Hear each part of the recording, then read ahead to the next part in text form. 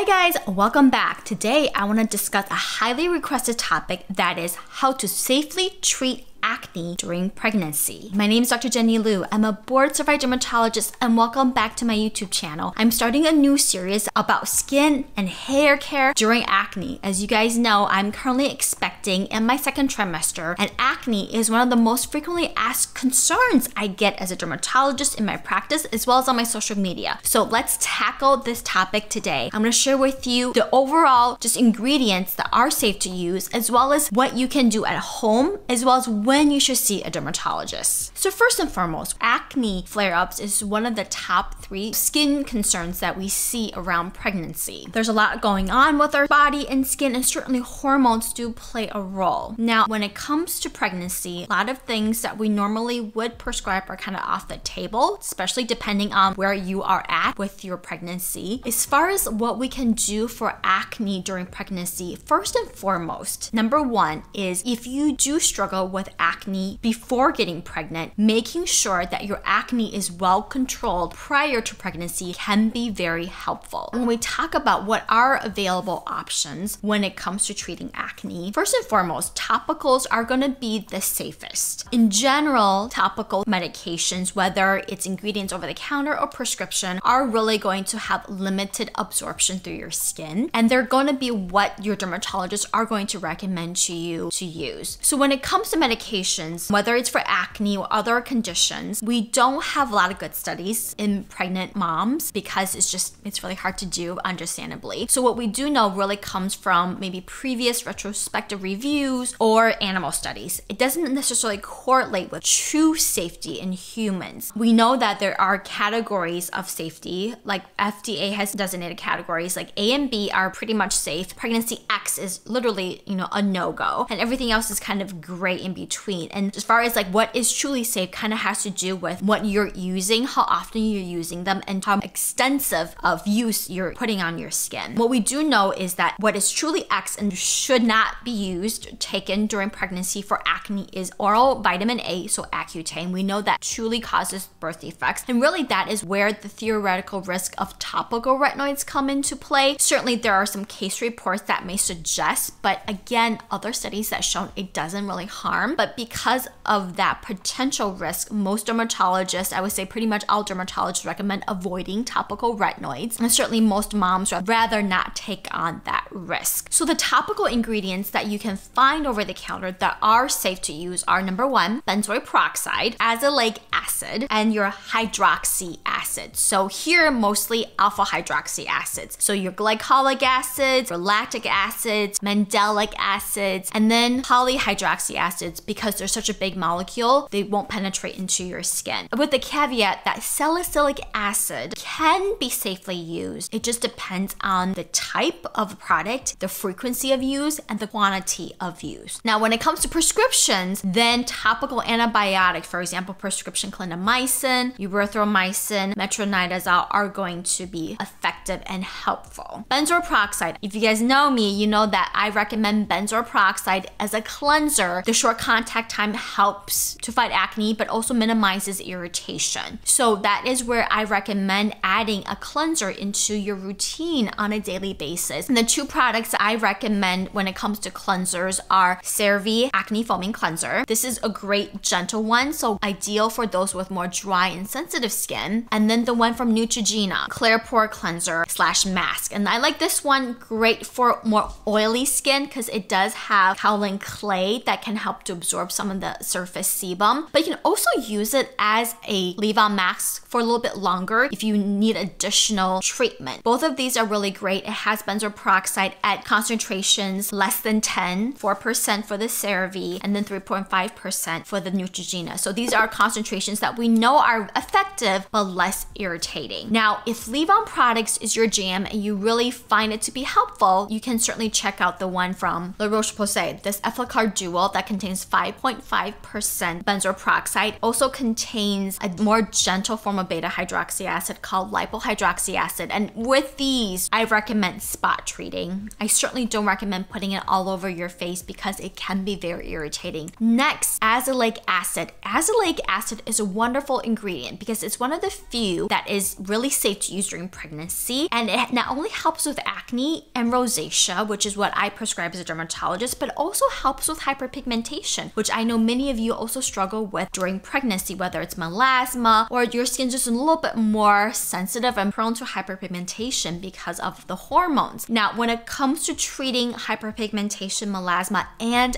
acne or rosacea, I'm really talking about the prescription strength that's going to be the most effective 15 to 20%. So these are going to be the ones prescribed by your dermatologist, your provider. Now, certainly there are a lot of formulations over the counter. We don't really have really any studies in those percentages, like 10%. Certainly, I think if you're not able to see a dermatologist right away, there's no harm in trying these. It just may not work as effectively or may take longer to work, but they're overall relatively low risk risk to try, but just understand that it's not going to be the same as prescriptions, and really prescriptions are where the money's at. But if you are looking for a good azelaic acid product, one I really recommend is from Naturium, azelaic acid 10%. This is really nice. Naturium is a brand that I really like. They're very much conscious of the products that they use, how it's formulated, very much environmentally conscious. It's vegan and also contains niacinamide, which we know is another ingredient that kind kind of off the label has been shown to help maybe with a little bit of acne and sebum control. So certainly the two can work together gently to help with your skin and acne and maybe even some of the uneven skin texture and skin tone. The other one that I like too that is very popular is from Paula's Choice. They're 10%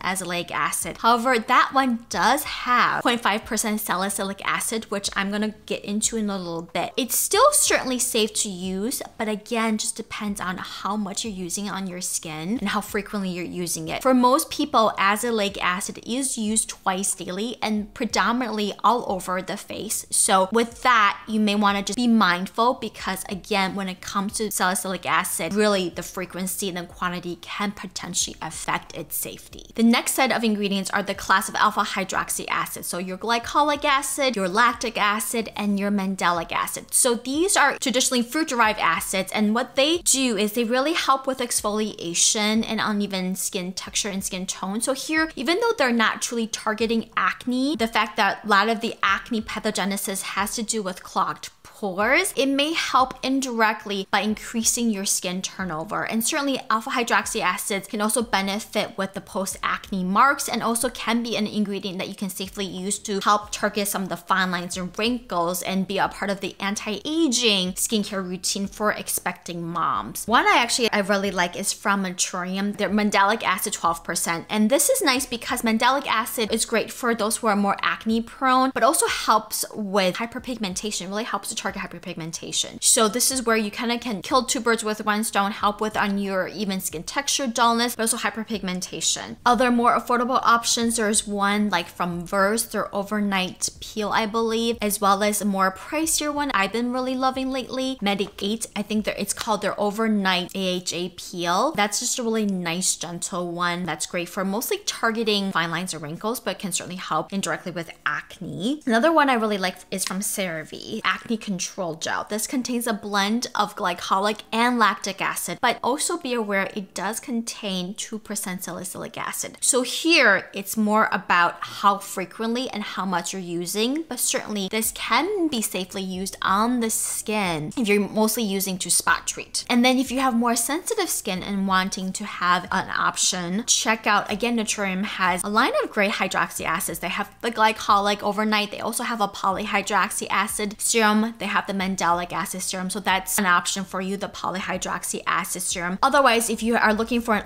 lactic acid serum more suitable for sensitive skin, I've really been loving one from Peach Lily, their lactic acid repair serum that contains lactic acid, ginseng, and other plant-derived ingredients are suitable during pregnancy, so you can certainly check that one out. So now let's talk about salicylic acid. So salicylic acid is an ingredient that can be used during pregnancy. I know there are some confusing information out there. This is the theoretical concern with salicylic acid. We know that salicylic acid, which is in the same family of chemical compounds as aspirin, when it's applied to the skin in large quantities on a regular basis, especially in the context of psoriasis, there is absorption into the skin, past the skin, into the body, anywhere from like what's quoted in literature from like 9 to 17%. The theoretical risk here is that there is a potential for salicylate poisoning, so like basically taking too much aspirin, but it's a theoretical risk, and this amount of absorption past your skin into your body is